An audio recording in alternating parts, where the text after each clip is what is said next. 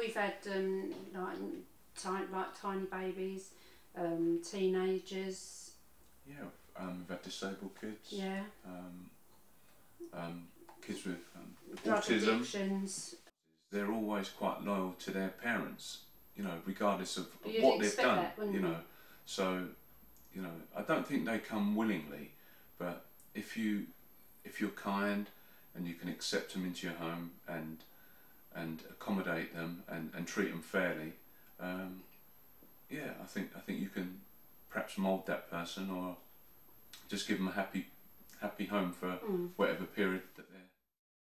I think if you get someone um, that's challenging, um, you have to remember that you've offered to take that person in, and you mustn't give up on them.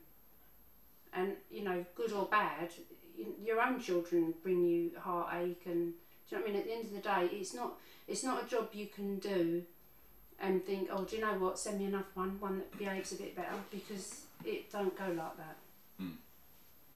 But I just think it sometimes it irritates me when you look in maybe the local rag and you think, oh, get X amount for, for, for fostering, and it's, it's not really like that. You know, you, you have a, a duty of care to look after these. If you're into it for the money, then you really you shouldn't you shouldn't be doing the, the job because yes, you do need to support these children, and children cost money. I, I accept that, but um, I think It's a lot more than that. it's a lot more than that. It really is. I actually was in um, foster care, and I was in children's homes. Um,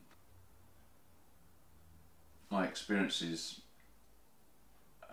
some of them weren't that nice, to be fair, um, but some of them were really good. So it just inspired me to, to do fostering when it came along. I thought I can do this. I know what needs to happen.